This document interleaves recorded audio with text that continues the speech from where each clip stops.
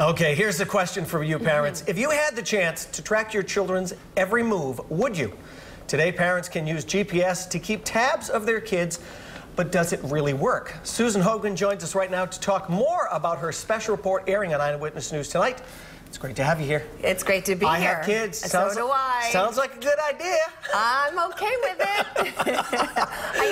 You know, it, it Just as long as it's not done to me. I know, we're good. I know someone was asking me earlier, can we track a boyfriend or girl? Well, Right. you know, we, we do draw the line. there. Right. But, you know, as parents, you know, it is a question that comes up for a lot of us. And the reasons whether we want to track our children varies from parent to parent, of course. Some obviously would like to track their children because of a trust issue, perhaps. Others, in our cases, it really comes down to more of a safety issue. Right, all right, so tell us about the story. Okay, we found a great family from Fall River, and we chose this family because the, of the varying ages of their children. They have a 17-year-old daughter, a 14-year-old son, and that little girl Zoe. She's mm-hmm. seven years old. And I really like the fact that we chose them because, you know, the son rides his bike to school, the little girl walks to school, and the daughter, who's 17, is obviously more mobile because she can drive and her friends drive as well. Right. Mm-hmm.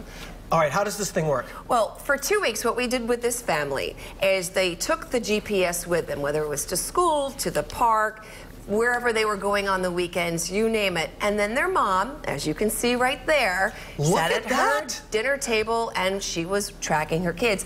And what's really cool and what you will see tonight is exactly how this works and what this mom is able to see.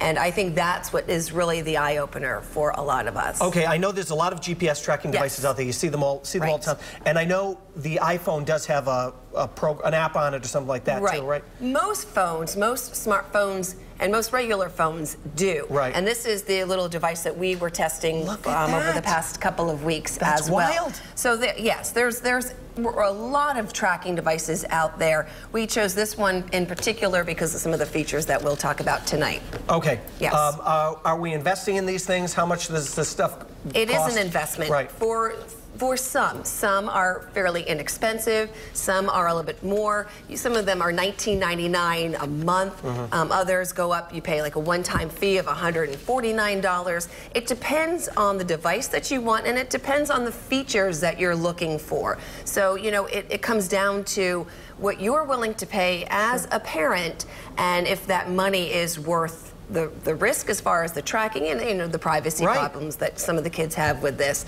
Um, but you have to decide whether the, the money that you're putting into it is going to give you that peace of mind. Right. Okay. Now, as a kid, how did these kids feel about being? How did these kids feel about being tracked? I mean, was it? Well, three different ages, three very different opinions, as you can imagine.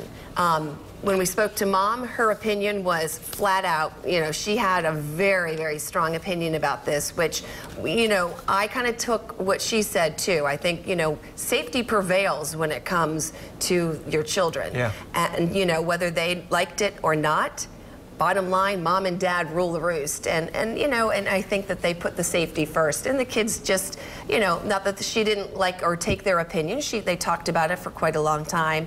But bottom line, safety prevailed for her. Oh my God! Thank God they didn't have this one when we were younger. You know, it's, it's one of those stories that when you watch it tonight, Yeah. it's going to spark talk around the dinner Absolutely. It really will. And, and I really, this is a really good one because it, it it's close to home. It makes you want to go, huh? Yeah. We, we track our dogs. Sure. We put the chips into them. Right. You know, we always Right. say, why not our kids? It's cool stuff. So- got a lot to got a lot to think about. All right, thanks so much, Susan. We look forward to seeing the special report tonight. Tracking Teens airs at 10 on Fox and then 11 on Eyewitness News.